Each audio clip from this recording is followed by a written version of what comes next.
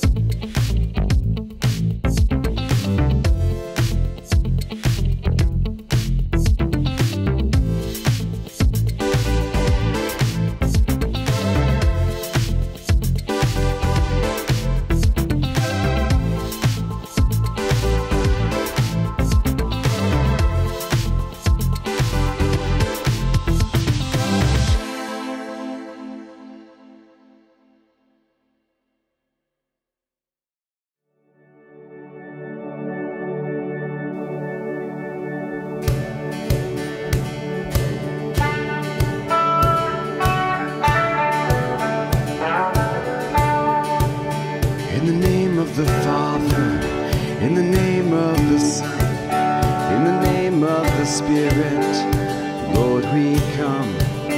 We're gathered together to lift up your name, to call on our Savior, to fall on your grace.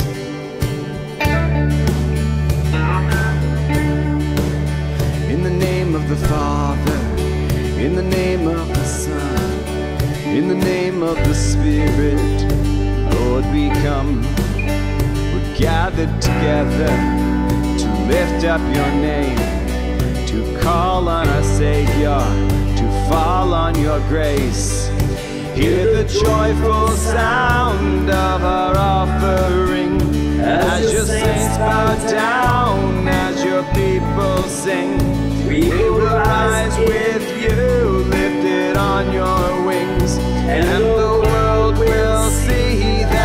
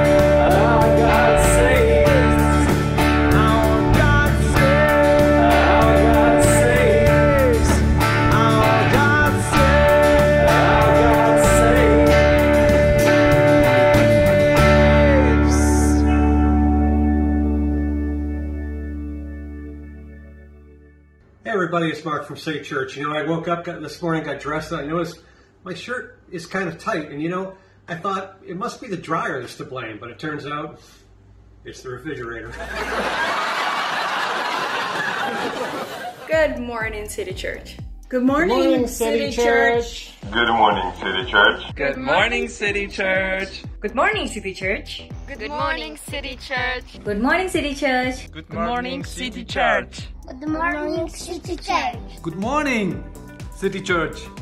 Good morning, City Church. Good morning, City Church. Good morning, City Church. Good morning, City Church. Good morning, City Church. Good morning, City Church. Good morning, City Church. Hello, City Church. Good morning, City Church. Good morning, City Church. Good morning, City Church. One, two, three. Good morning, City Church. Good morning, City Church. Dzień dobry, City Church. Good morning, City Church. We are so glad that you are with us today. Well, it looks as though spring is truly here, finally. I look forward to getting outside myself as soon as possible with no mask on now that we don't have to do that. This week has been a huge lift to my spirits with all the sunshine that we've gotten, and I hope that it's been a lift to your spirits too. Renata's going to talk to us in a few minutes. She didn't want to say anything, but this is likely her last sermon for City Church before we leave to Canada. I just thought you might like to know that. The end of our time is coming much too quickly in some ways, much too slowly in other ways. Uh, but next week I'll start a two part series to end out the month of May and to finish out our time at City Church. Last Sunday, if you weren't on the live Zoom, you missed meeting my friend Scott, who's going to lead City Church over the next several months while we continue the hiring process of the next pastor of City Church, which is also moving along quickly. And we hope to have news for you very, very soon on that. Over the next couple of weeks, you'll actually have a chance to see more of my friend Scott in the videos. You'll just need to tune in. Well, whether you've given during this week already or not, we want to give you a moment to give prayerfully and intentionally, and we thank you for your generous and faithful giving. Hey, our next pub night will be Tuesday, May 25th at 7:30 p.m. Just write me at info at citychurchwarsaw.org and I will send you the link. If you have any other questions for me or want to get in touch with us for any reason, you can write us at info at citychurchwarsaw.org as well. Uh, and that's about it that I have for today. Any questions? Great. Now, back to some music.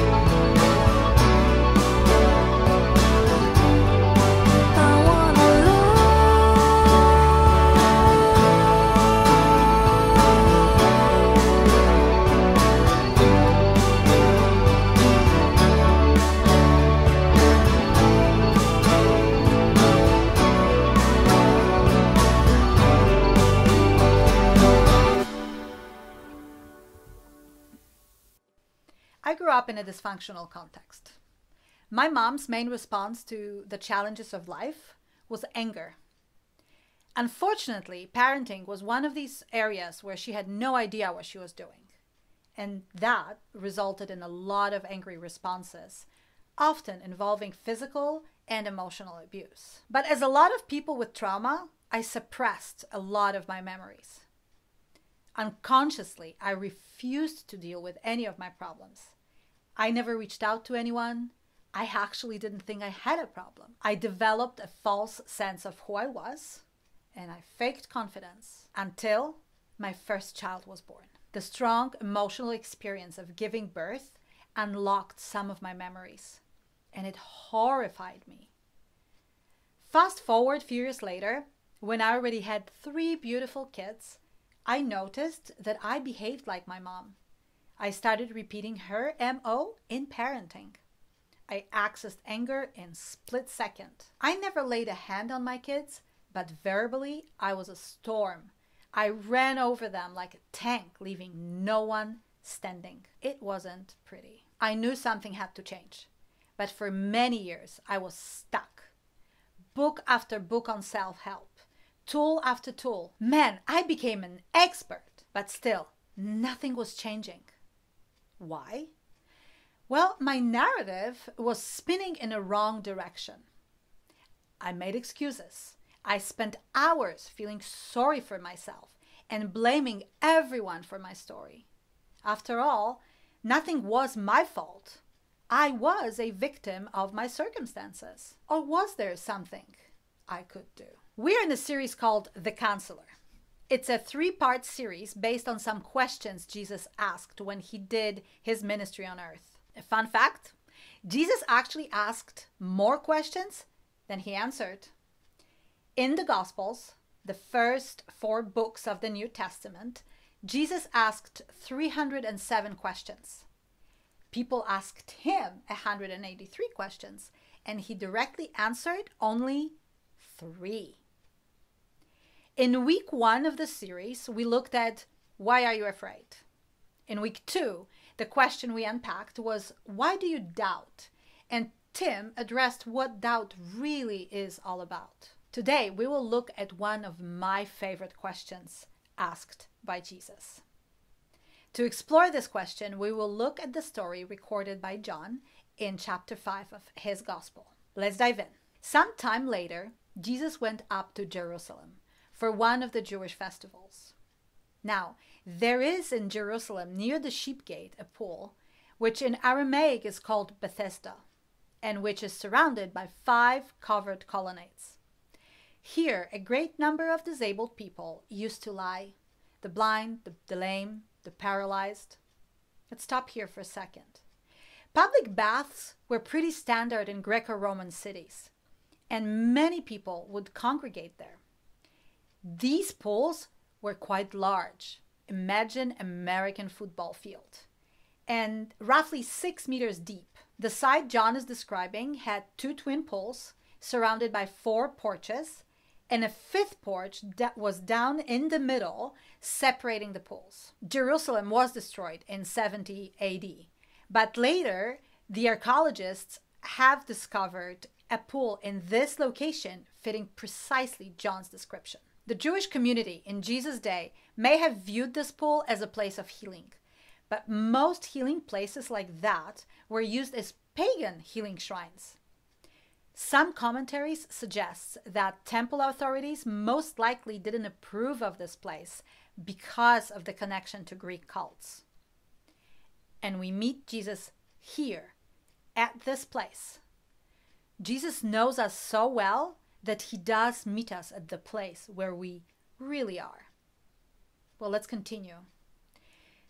One who was there had been an invalid for 38 years. When Jesus saw him lying there and learned that he had been in this condition for a long time, he asked him, and here it is Do you want to get well? 1. I have recently noticed it. There is a multitude of sick people lying around, and Jesus notices one. He comes up to one. He always had time for one. He knows that one changed life can have a ripple effect in communities, in the cities we live in, and ultimately in the world. This man has been sick for 38 years. Nearly four decades he spent lying around the pool waiting for healing. Here, John does what most ancient reports of healing did. He specified how long the person was sick to emphasize the greatness of the healing. Obviously, for 38 years, nothing succeeded in restoring this man. Being surrounded by others who were sick in different ways probably didn't help either. We tend to find in our lives groups that affirm our condition, our issues. We like to surround ourselves with people who don't challenge us to change. There is a reason we have a saying, misery loves company. We gravitate towards people with similar issues because then we don't have to address our own state. Jesus sees the guy and asks him a question Do you want to get well? To some of us, this question might seem kind of cruel, maybe a, even a little compassion less. Doesn't Jesus see this man's condition? Where is his love for this man?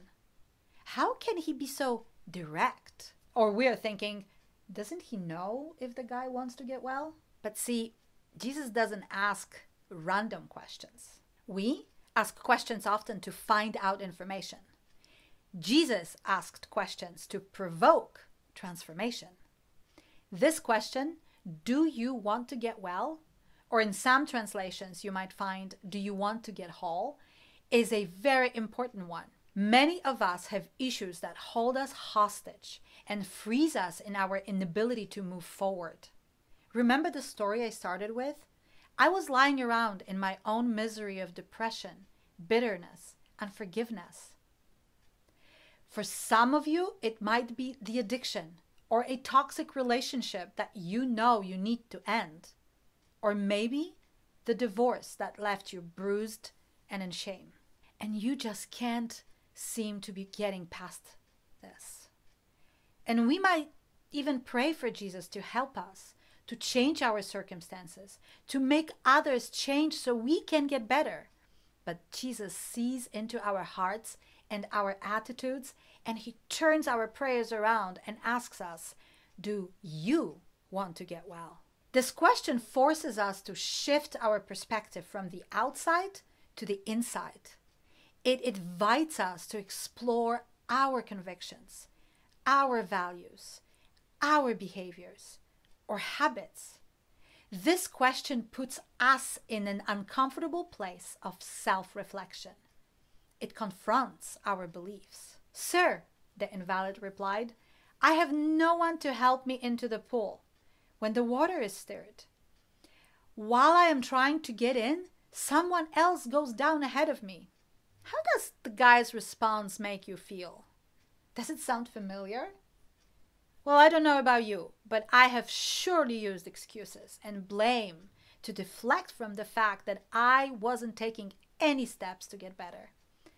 Well, I thought I was.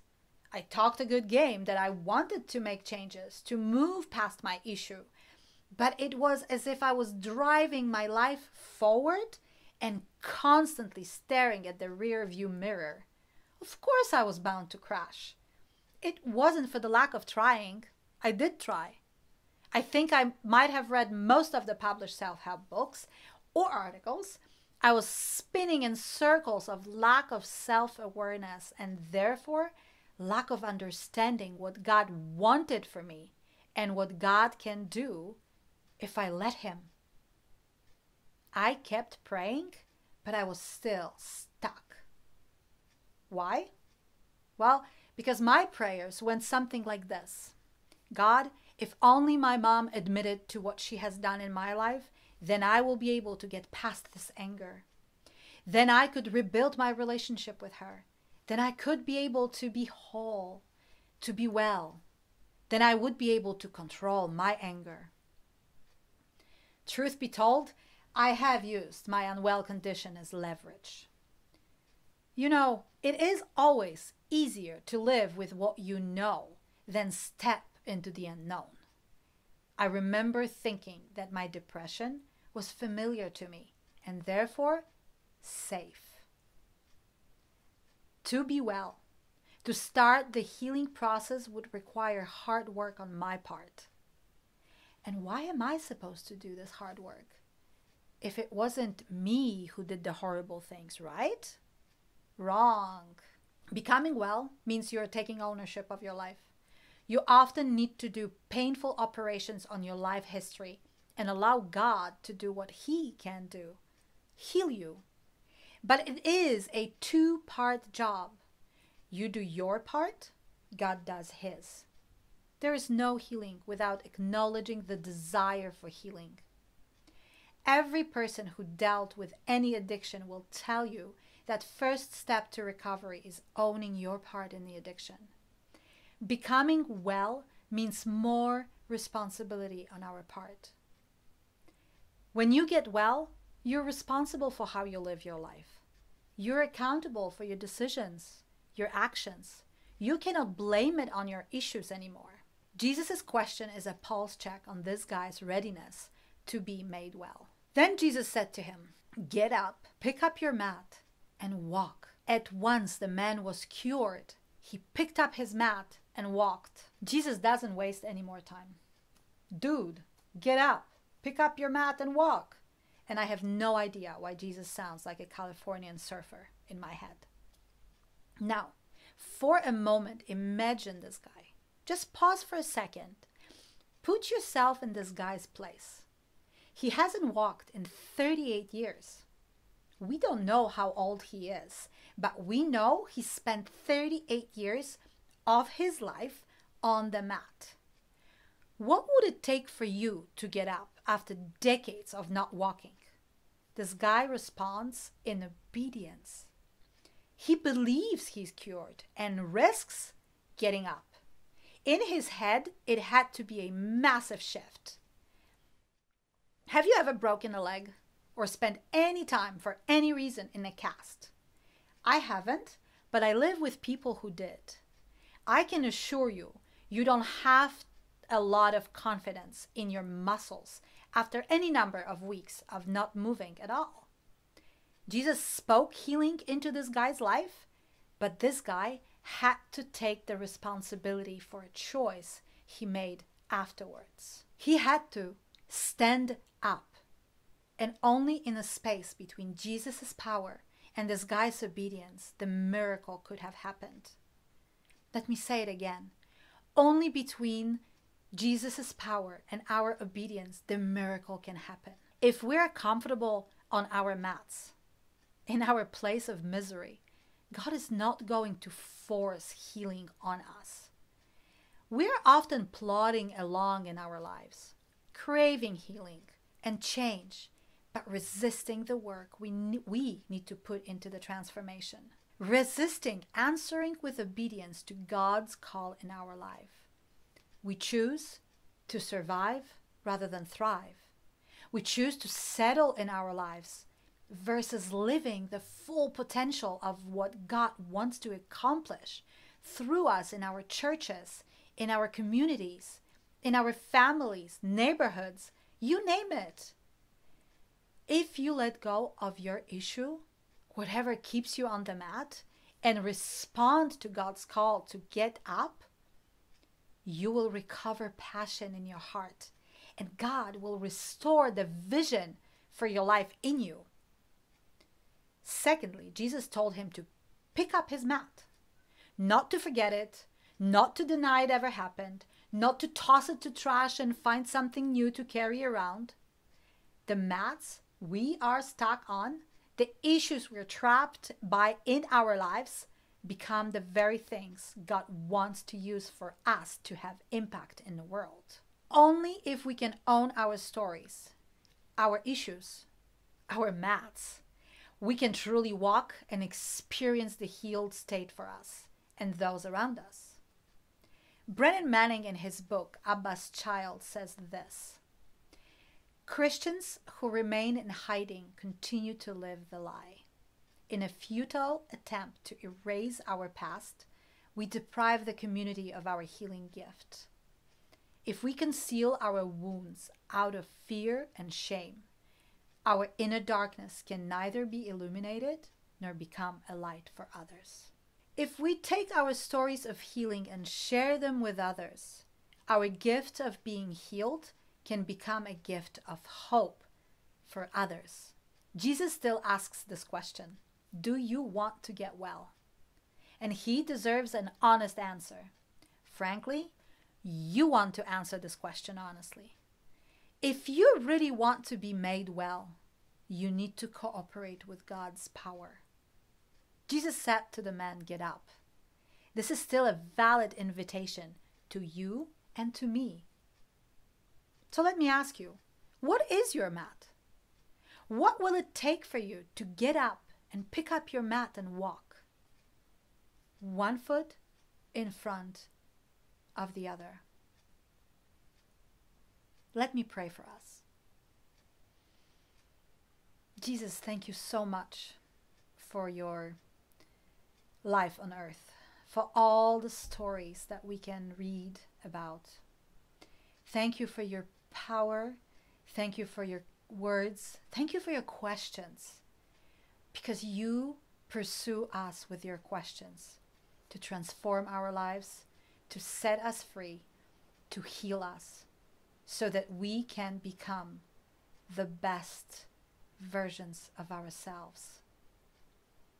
Thank you, Jesus, for your healing power. Amen. Have a wonderful rest of the Sunday.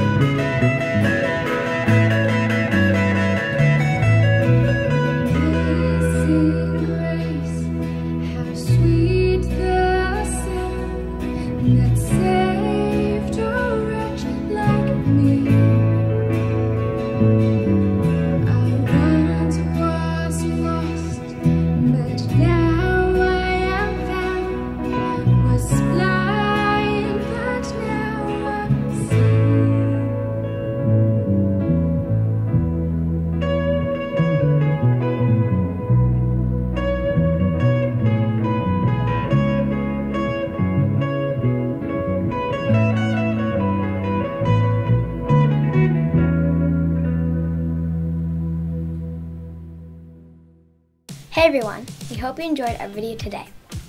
Before you go, would you smash that like button, hit subscribe, and even turn on the bell for notification when we post videos like this and other content as well.